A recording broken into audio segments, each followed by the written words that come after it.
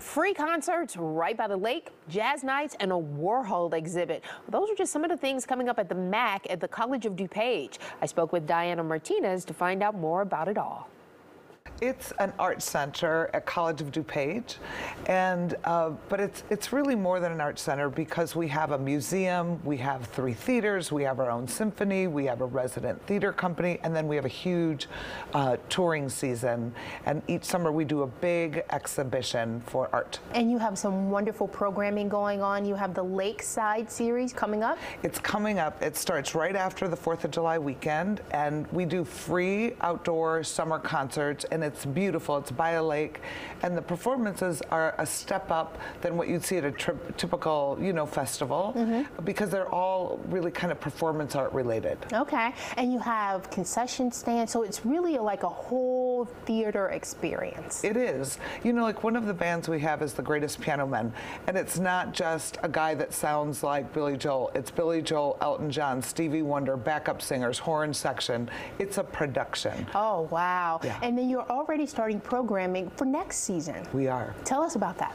So next season starts in September and we're really excited. And actually, a WGN person is going to be in next season, Our Pat very Tomasulo. Own Pat Tomasulo, yeah.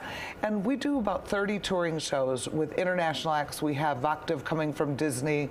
We have um, Malevo from Argentina. Then we have, we have comedy, music, dance. It's it's a, a really phenomenal season. And I know you are in charge of a lot of the programming. How do you decide what type of acts you want to bring in and, and, and, and, and, and introduce the community to? You know, um, that's the hardest part of my job. And I think for me, because we're an art center, I want to make sure that everybody feels welcome and included. And I want a, a, something for my jazz fans. So we have Jazz at Lincoln Center coming for Valentine's Day that'll oh, do nice. all the old standards. Um, then I want to make sure I do dance. So we have Pilobolus coming.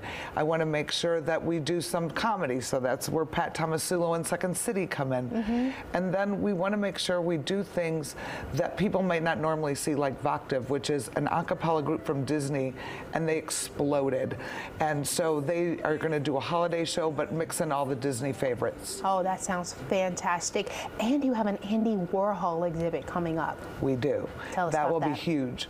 We are working with Bank of America's collection. They have 94 original Warhols.